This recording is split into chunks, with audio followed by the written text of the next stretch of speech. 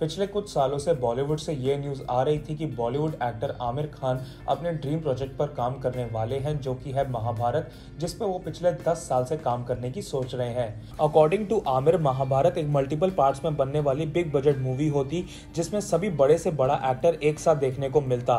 But अब sources से ये न्यूज़ सामने आ रही है कि आमिर खान महाभारत को मूवी न बना के बल्कि English TV series Game of Thrones की तरह एक सीरीज़ बना के ओटीटी प्लेटफॉर्म नेटफ्लिक्स के ऊपर रिलीज़ करेंगे ताकि हर कोई इसका आसानी से मज़ा ले सके।